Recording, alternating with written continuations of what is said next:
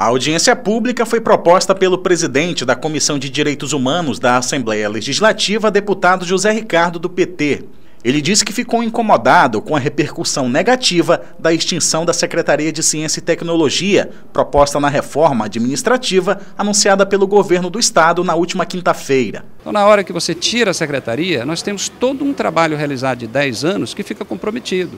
Ou seja, tudo isso que é a serviço do Estado e da população, o governo agora está desvalorizando. Eu acho que ele está equivocado, acho que o governador pode alterar isso, pode retomar essa secretaria e reforçá-la na sua atuação em benefício da população. O projeto de lei da reforma administrativa ainda precisa da aprovação da maioria dos deputados. E por isso, dezenas de pesquisadores da comunidade científica foram até a Assembleia esta manhã para fazer coro contra a extinção da pasta, que deve ser incorporada à Secretaria de Planejamento.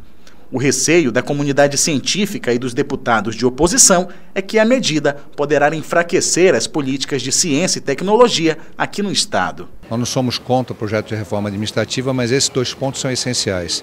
É preciso manter a Secretaria de Ciência e Tecnologia, porque é ela que nos dá a formulação da política que pode permitir a sustentabilidade ambiental e econômica do nosso Estado. Desenvolver o nosso potencial de biotecnologia, de psicultura, as pesquisas e os métodos de produção sustentáveis que o Amazonas precisa para progredir com inclusão social e preservação de meio ambiente. Mas esse enfraquecimento é rebatido pela base governista. Muito pelo contrário, o governador não pretende comprometer os serviços.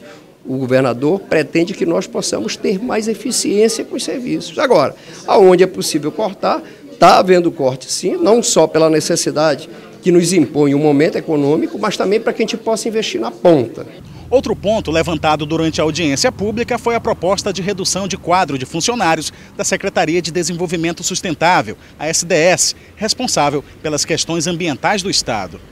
O Amazonas precisa, ele é responsável por um patrimônio que é um patrimônio do Brasil, que é a gestão das florestas. Então, a ciência e a tecnologia e a agenda ambiental, elas andam de mãos dadas, juntas. E a extinção de uma e o enfraquecimento da outra é uma decisão equivocada que precisa ser revertida.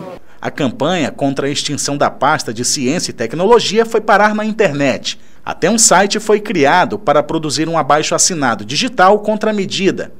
Até o início da tarde de hoje, o site já apresentava quase duas mil assinaturas. A campanha também é defendida pelo movimento Ficha Verde. Como conduzir uma gestão de uma área de 19 milhões de hectares, reduzindo o quadro, reduzindo o orçamento e, e tirando as estruturas de gestão já existentes. Então isso é bastante preocupante para se deve ser atentado nessa mudança política.